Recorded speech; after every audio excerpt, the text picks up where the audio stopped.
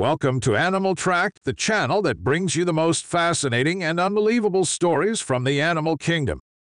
Today, we're going to talk about rectal palpation, the craziest thing veterinarians do to save an animal's life and to confirm diagnosis, especially during pregnancies in animals. Imagine you're a veterinarian and you're faced with a life threatening situation like colic. You're out of options, but you have to save the animal's life by being dirty, especially when you do not have any PPE. What do you do? Well, sometimes we have to take extreme measures.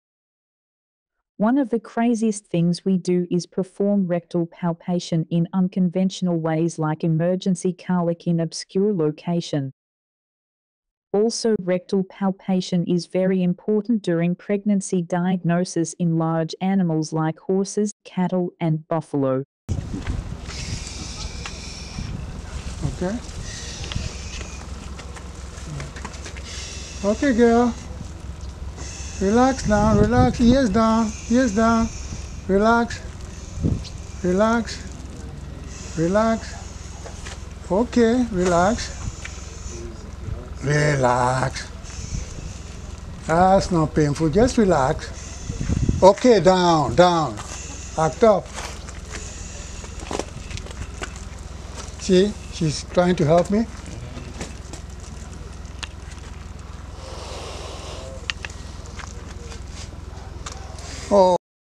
Rectal palpation is a veterinary examination technique where a veterinarian inserts a gloved hand into an animal's rectum to feel for any abnormal growths, masses, or changes in the internal organs.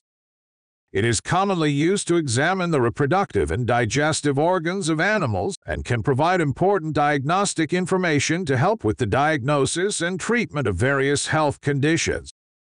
The procedure is performed with the animal in a sedated or restrained state for safety and comfort.